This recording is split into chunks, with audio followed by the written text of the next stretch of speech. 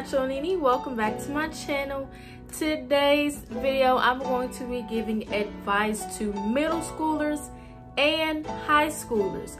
So I actually have not been in middle school in four years. So I'm gonna try my best to give y'all the best advice I can for middle school because it's been a while since I've been in middle school and I'll actually have more advice for high school since I just graduated two months ago.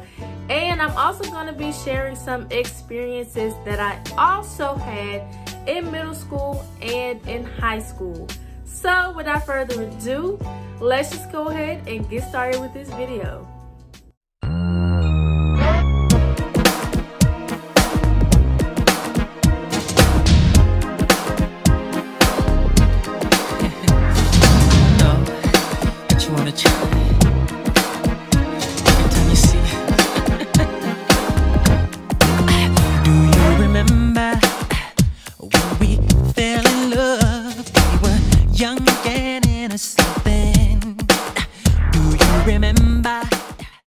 I'm going to start off by giving advice to middle schoolers. So number one, try to make friends. So back then when I was transitioning from elementary school to middle school, it was not that hard for me to make friends back then because I wasn't as shy then as I am now.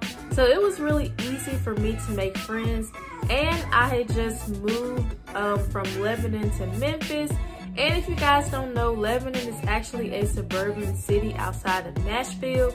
So I was new to the school. I didn't know a soul. But honestly, back then, it really wasn't that hard for me to make friends. So I made friends really, really easily. And yes, of course, I was scared because making friends, meeting new people, can be a little scary sometimes. But it was really easy for me though. And I do recommend making friends at least in sixth grade that way, you know, if they actually stay for the other years, then, you know, you already have like your little group of friends. And you honestly do need somebody to hang out with in middle school. So I do recommend making friends in sixth grade. Number two, pay attention in your classes. So a lot of people be saying middle school is hard, the work is tough to be honest, it's not really that bad. If you pay attention in your classes, you listen to your teachers, you don't interrupt them, and you write down important things, then you will be successful in middle school. Because to be honest, the work in middle school is not that hard. And if you think the work in middle school is hard, whew, you gonna be up a creek without a paddle when you get to high school because high school work is a whole lot harder than middle school work. So if you pay attention in your classes and you write down notes, you will be a successful middle schooler. Um, number three, be yourself. So honestly, in middle school, middle school can be a little bit intimidating sometimes, um, especially if you have like a hard time making friends or talking to new people. It can be intimidating sometimes but I do recommend being yourself. Don't follow the crowd, let the crowd follow you. Um, because when you make friends in middle school, you know, some people actually tend to follow in those people's traits or their characteristics. And sometimes those traits could be good and they could be bad. So I recommend being yourself. You can have friends, you can have your little friend cliques and your groups. I just recommend being yourself. Um, number four, get involved in clubs, activities, and sports.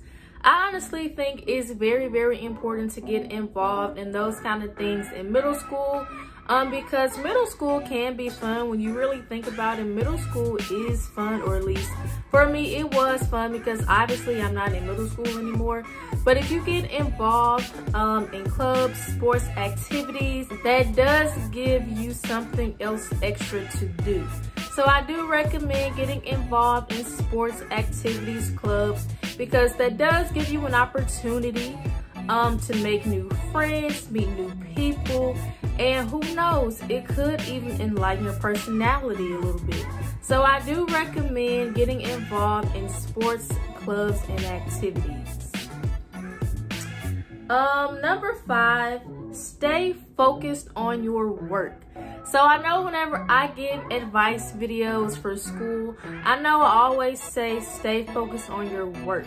But when it comes to middle school, you really have to stay focused on your work. And if you're a girl watching this video and you're in middle school right now, this is honestly for y'all. Stay focused on your work because middle school are those years where boys tend to like girls and they will do any and everything that they can to get you to pay attention to them. And you do not want to be distracted by a boy. So make sure that you're 100% focused on your work. Now, I'm not saying you can have any friends that are boys. I'm just saying make sure that you stay cautious, that you're aware of what they're trying to do because that those are the years where boys do tend to like girls and it could be vice versa where girls tend to like boys. So just make sure you stay on your work, that you put your work first. Now you can have friends that are boys, but I do recommend staying on your work and not having a boyfriend in middle school. Um, and last but not least, number six, stay away from bad kids. Kids in middle school are bad. And what I mean by bad kids, typically it's actually boys because boys in middle school, for one, they're trying to get girls' attention. So again, they will do any and everything that they can to get your attention. So make sure you stay away from the bad kids because those are the kids who typically try to be the class clown or the center of attention and have everybody look at them and pay attention to them. Normally, those are the kids who are always in ISS, which is in school suspension, or OSS, which is out of school su suspension. So those normally the kids who always in trouble. They never really do good in class or on their work. And those are just basically the troublemaker kids. So just make sure you stay away from the bad kids because if you're around a group of bad kids, nine chances out of 10, people who look at you, who hang out with those kids, they will start looking at you differently and you do not want your reputation to change. So just make sure that you stay away from the bad kids. So that was all of my advice for the middle schoolers. Now I'm going to be giving advice to the high schoolers. So number one, stay away from boys your freshman year. So I know I kind of just got done talking about this for middle schoolers, but honestly, when you're in high school, boys actually go to the extreme trying to get your attention. So I recommend staying away from boys your freshman year um, because you know you're in a new environment, you're um, surrounded by new people. So you honestly need to learn your environment, your schedule, your teachers. Stay focused on your work and if you want to, you can get involved in extracurricular activities. So I do recommend staying away from boys your freshman year because I do not recommend um, getting a boyfriend or having a boyfriend your freshman year because all they'll pretty much do is just distract you. And honestly, you do not want to do that because ninth grade is very, very important because that's your very first year of high school. Now, again, I'm not saying you can't have friends that are boys. Just be careful and be aware of their intentions.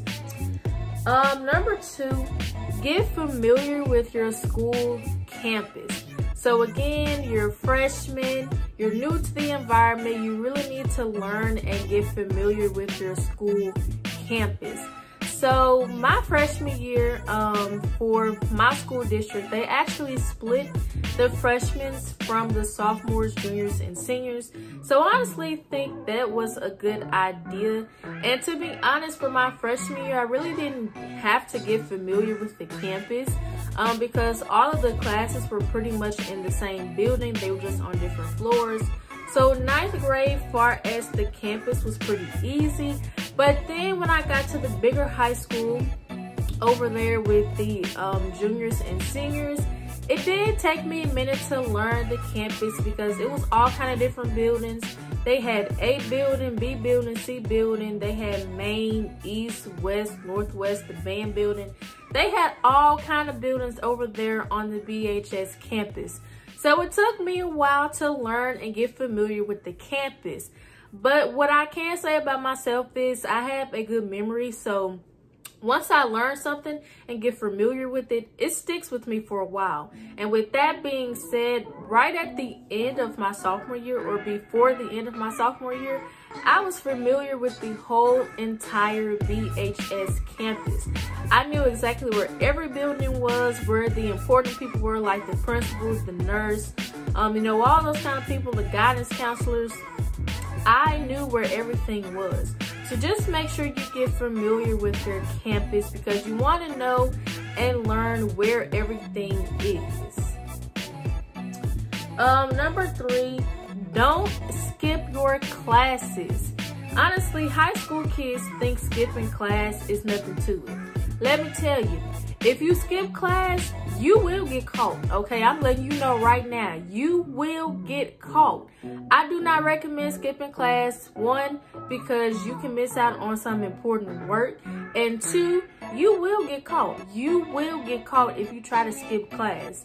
And some kids think they could just ask the teacher if they can go to the bathroom or to the nurse. And then they actually think the teacher thinks that they're going where they said they are.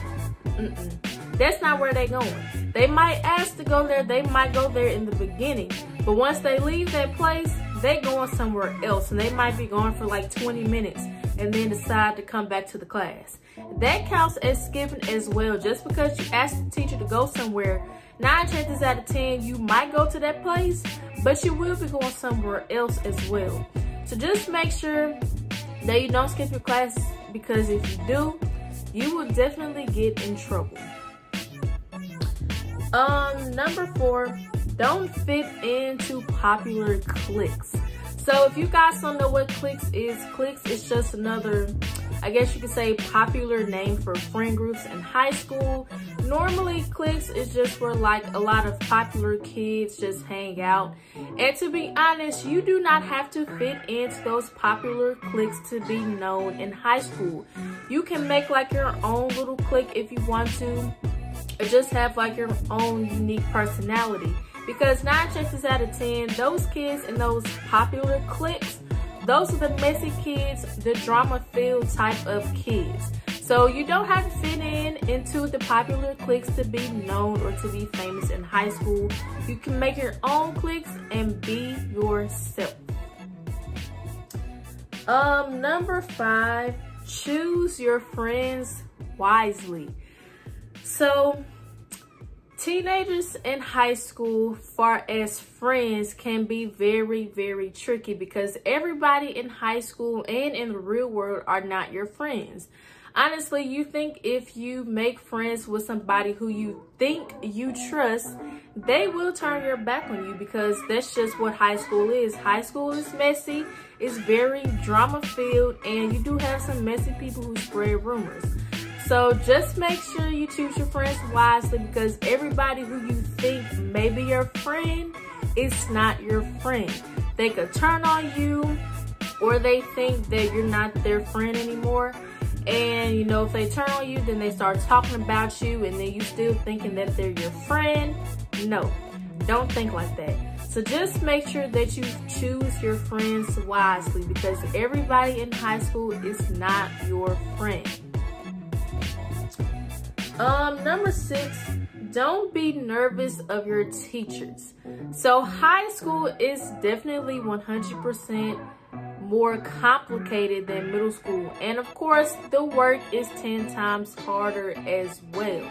So don't be nervous of your teachers. Don't be nervous to ask your teachers a question or anything like that because they're there to help you, okay?